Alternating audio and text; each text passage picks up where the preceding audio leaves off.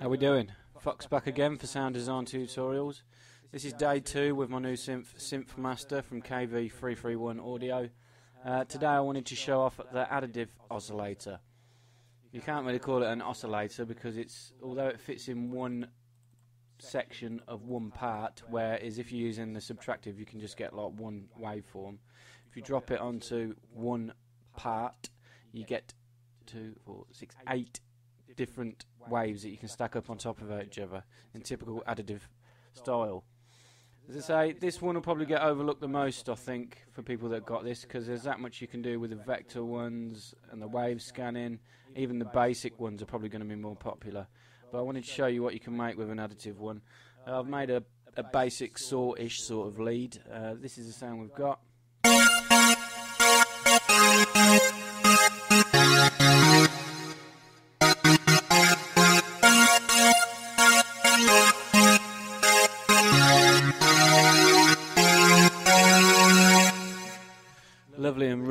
Sound. To say I don't use all of the oscillators that we've got available. I've used six. Two of them are saw waves. I think one's a square. A couple of Rhodes ones, which are like old keyboards. No modulation really. No, I've got nothing in the matrix section. Look, didn't really need it. I've got a bit of light distortion with a filter and a couple of other effects to help thicken it up. So yeah, so it is quite a basic, the most basic what we've got here compared to in regards to like say the wave scanning and the vector. But I wanted to show you can still make some really brilliant sounds with it. This is a this synth does not cease to amaze me every time I use it. I find something else that impresses me every time I use it. Something simple like being able to invert the waveforms. I mean, you get it with FM8 and stuff, but it, it makes hell of a difference. But yeah, for now we're going to go and create a new instance of this preset. So I'm only going to be using layer 1 and I'm only going to be using one oscillator. Oscillator 1, which we're going to set to an additive one. Um, for this first box, I changed it to a square. The next two were both sawtooths. The fourth one I had was uh, Rhodes Polar Polaris 1. It's in the it's in this one single cycle waveforms Rhodes Polaris 1. Then I had some noise just to thicken the sound up. And then I had another Rhodes one which was Polaris 6. Rhodes Polaris 6.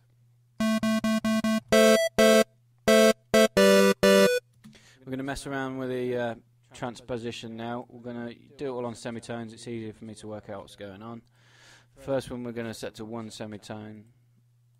The second one to one semitone, so square and one saw wave. The second saw wave we're going to set to 13 semitones, which is an octave up. The first Polaris one we're going to set to one semitone as well. Doesn't matter about the noise because it fills all frequencies anyway, but we'll set it to 1. And the second Polaris one we're going to set to 12 semitone, uh, 13 semitones as well, sorry. So one octave up.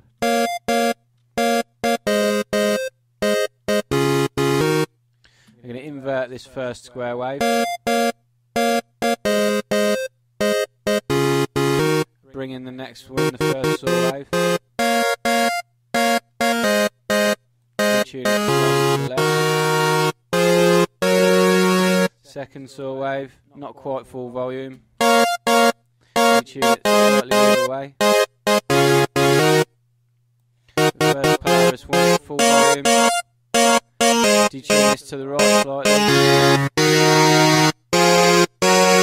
The noise, only tiny bit of noise. About 8 o'clock on the dial. Don't need to detune the noise, obviously. Last Polaris one, around to about 2 o'clock. Detune this the opposite to the first Polaris. Just a tiny bit. Click the free, click the free button.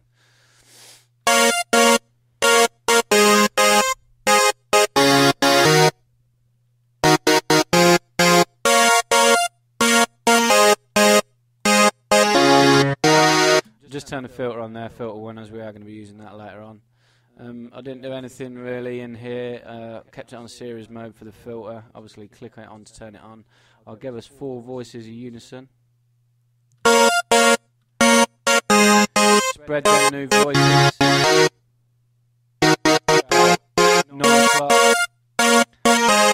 Panama as well to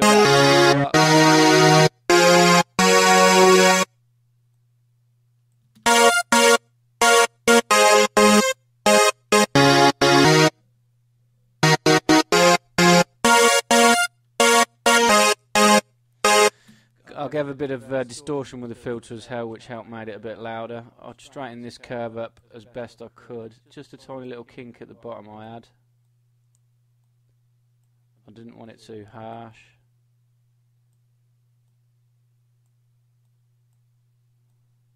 Same, just a little tail squaring off at the top.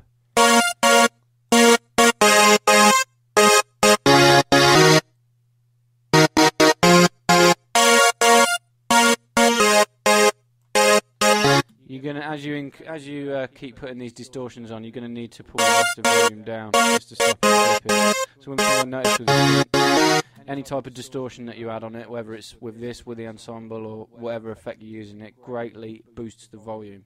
So yeah, just keep an eye on it and keep pulling the master volume down, so to make sure you're not clipping. So yeah, the drive I pushed around for this uh, distortion on the filter, I pushed around to about nine o'clock.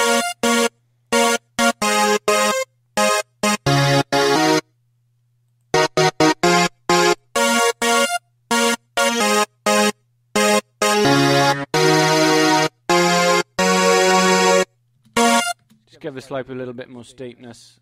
Put the cut off to about one o'clock for the filter. I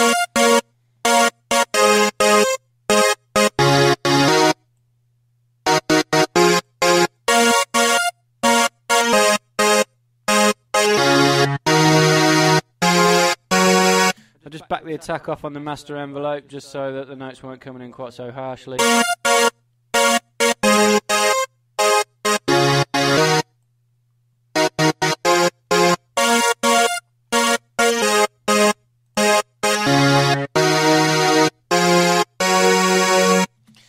Master Effects section, I use this ensemble. It's like a chorus. It is a really, really good bit of kit.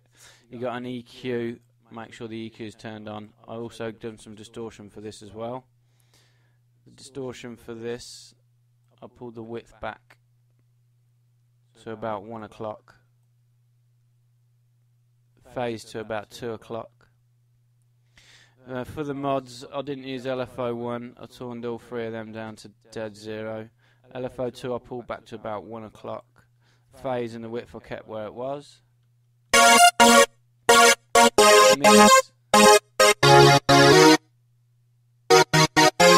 About plus 13 for the mix. No delay, no space. The EQing. I just uh, boosted the highs so it was the high parts that were affecting rather than the lows.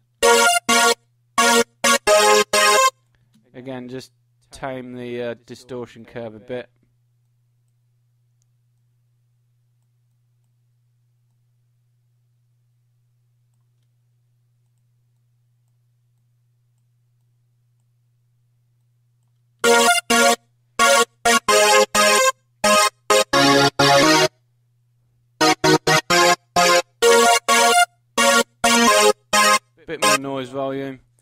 So yeah, for that's it for the ensemble. You can obviously increase your mix to taste. I kept the voices on three.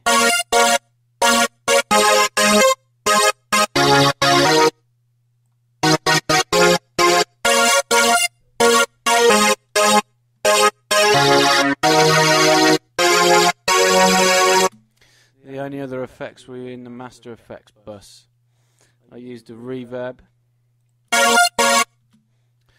For some reason, um, the layer sends are a little bit messed up on this. I need to get in touch with somebody and try and work out what it is.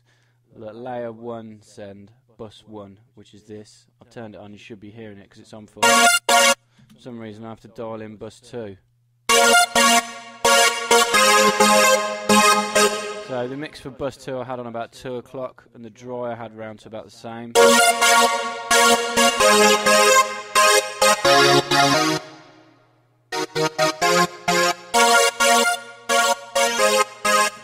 master volume.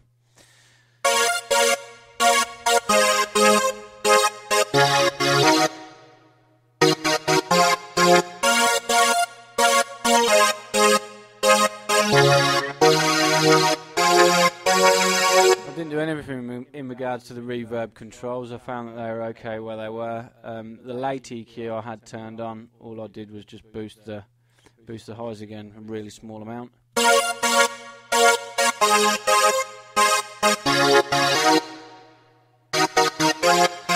Echo was the only other effect I used. I pulled the mix back to about 2 o'clock, kept the width on full, pan dead centre, tiny bit of feedback. I drove to about 9 o'clock. Kept it on ping pong. I changed the right to a 1 over 8. I always use this when I do a ping pong, it, it keeps them different from each other. Same as the rest EQing, focus on the highs, no distortion.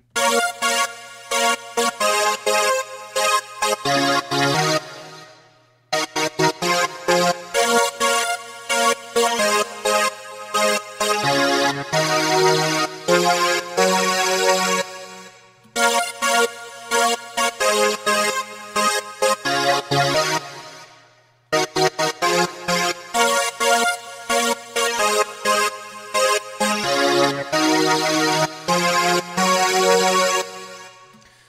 the sound done. Nice and simple lead there. Um, I say it's two sim- two saw waves, one square wave, two Rhodes, and a bit of noise. So lovely bit of kit this is. I mean, it looks real basic, but you've got everything you need in one tiny little box. You could make thousands, if not hundreds of thousands of sounds just with this one. And then as well as this, I could now, in the second oscillator box, have another sawtooth on, which I will. I'll turn it on I will set it to free. I'll give this four voices.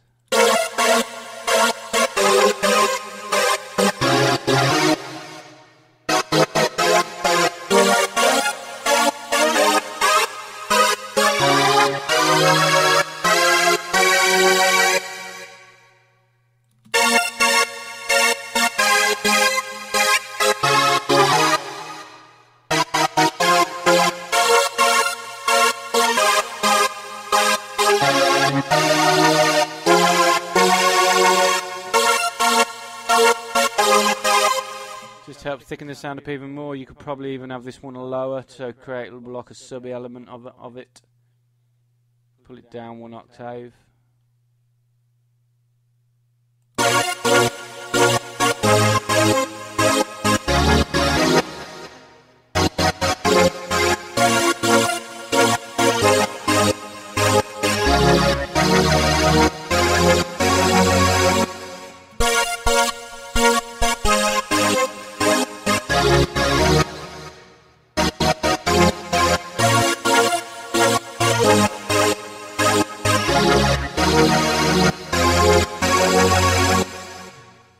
We'd pretty much done all that with just one oscillator slot, and you've got four of them. You could have one, two, three, four, five, six, seven, eight times four. You could have 32 separate waveforms in additive mode, eight in each one of these two slots here, and then for two layers. So you can imagine the size of the sound you could build just using these simple, simple oscillators. Yeah, I can't stress enough how much I'm enjoying this synth. It is brilliant. I'm going to keep doing these tutorials many more to come. I'm going to try and show off all the oscillators. Next time I'll try and show uh, one of these vector oscillators. But yeah, for now, uh, make sure you subscribe to my YouTube channel. It's www.youtube.com forward slash sound design tutorials. And uh, tweet me at sound design tuts. Okay, cheers. Thanks a lot. Bye.